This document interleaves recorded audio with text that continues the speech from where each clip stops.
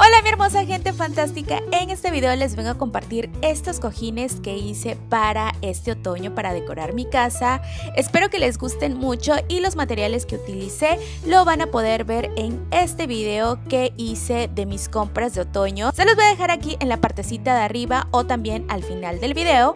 Y bueno, de esta tela que yo compré voy a recortar mis cojines que tienen las medidas de 45 por 45 centímetros, pero yo los recorté de 47 por 47 debido a las costuras y al cierre que se le va a costurar.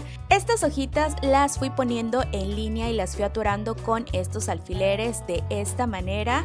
Y ya que las tengo todas así de un solo costado de la tela, ahora las vamos a costurar. Y digo las vamos porque aquí me está ayudando mi mamá, ya que yo no sé costurar y pues esta es su máquina, entonces ella me está ayudando a pasarle la costura por todas las hojitas, va a quedar de esta manera, así es como quedaron ya todas las filitas de hojas costuradas sobre la tela, ahora lo que sigue es juntar las dos piezas que tengo, vamos a costurar toda la orilla, va a quedar así. Y también voy a costurar el cierre, bueno, mi mamá costuró el cierre y ahí lo tienen, la verdad que pues es muy fácil para los que a utilizar máquina, aunque también se puede costurar a mano, pero obviamente es mucho más trabajo y más tardado. Así es como se ve por fuera y yo de este tipo de forro de cojín hice dos este es el primero y el segundo que hice fue de esta manera, como ven la tela cambió y también el color de las hojitas es como más rojizo. Aquí están los dos y pues la verdad es que me gustaron muchísimo, tienen diferentes tonalidades y contrastes.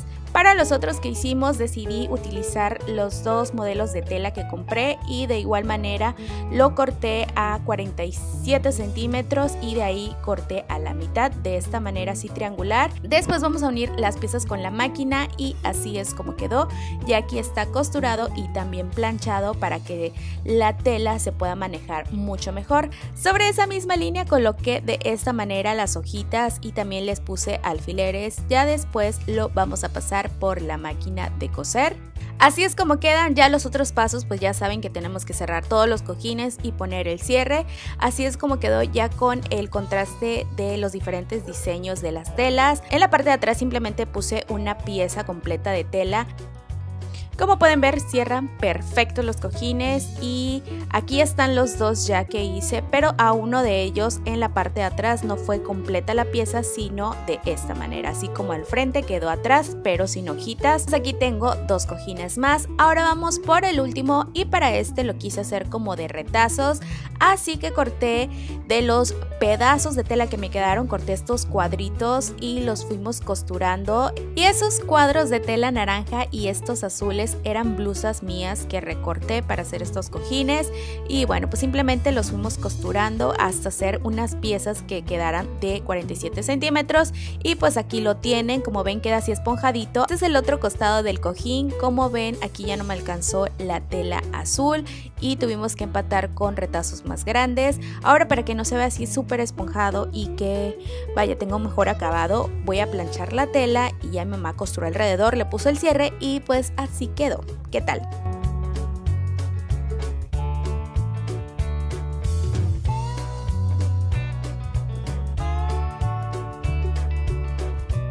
Y bueno, pues así es como se ven estos cojines en la sala. La verdad es que sí, se ven súper otoñales. Y aquí les voy a mostrar de esas compritas que hice en ese video, compritas de otoño, cómo las puse en mi casa. La verdad son cositas sencillitas, pero son unos toquecitos que pues le quise dar a mi casa para este otoño que aquí en mi ciudad no se vive. Así que bueno, espero que les haya gustado este video, mis fantásticas. Si es así, pues no olviden dejarme sus deditos arriba y si eres nueva o nuevo pasando por ese canal, pues te invito a que te suscribas y a que actives la campanita para que no te pierdas mis videos nuevos. Recuerda que tengo redes sociales, en todas me encuentran como Fantástica Azul. Y bueno, pues eso ha sido todo por este video. Nos estamos viendo en el próximo. Y recuerda, haz lo mejor con lo que tienes.